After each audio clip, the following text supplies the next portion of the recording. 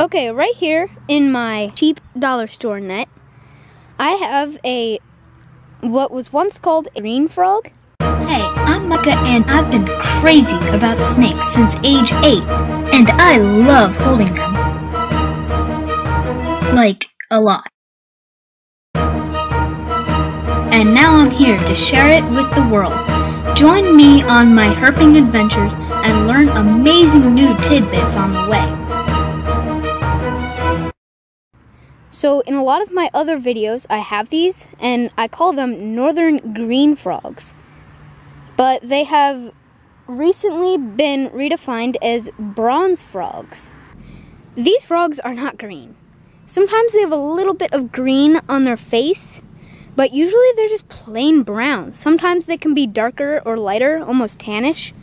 This guy's a little tannish, but they're never really green. So bronze frog is the new name. Now this guy's not quite as big as they get, so it will be a little difficult, but I'll try to show you how to hold a large frog. Okay, now he's really slippery, and he almost got away a few times, but I'm holding him right around his waist, so he can't kick out and jump away. Um, and he can't really struggle much either, so he can't do much, and it's a really nice way to keep a frog still so you can observe it. But right when you're done, like always, you want to let it go. See you, little guy.